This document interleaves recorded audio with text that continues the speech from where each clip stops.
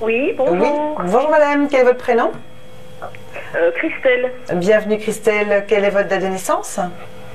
Le 22 du 6 en 75. D'accord. Qu'est-ce que vous voulez savoir Christelle?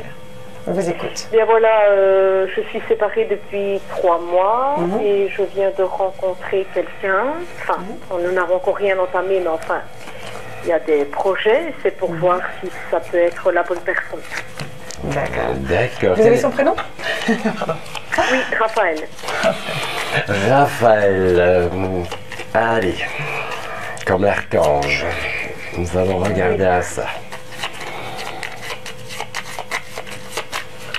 Ici, je vais travailler différemment. Emmanuel, j'ai pris l'oracle du voyant pour voir s'il y aura suffisamment les, de points de commun dans cette relation pour que ça puisse fonctionner.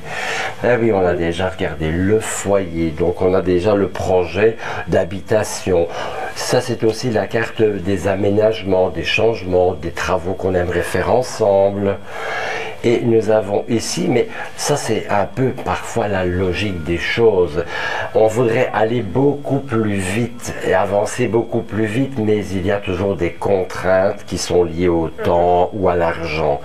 Donc, vraiment chez vous, on voit le projet de ben, peut-être de vie commune, d'un changement, de déménagement, de fonder quelque chose, puisque la première carte c'est le foyer, c'est la famille. Donc, à part peut-être des petites euh, distances au niveau du temps, donc des comment des délais, pardon, c'est le mot que je cherchais. À part quelques délais de temps, la personne pour moi va vous convenir et vous créerez quelque chose de tout à fait positif avec Raphaël.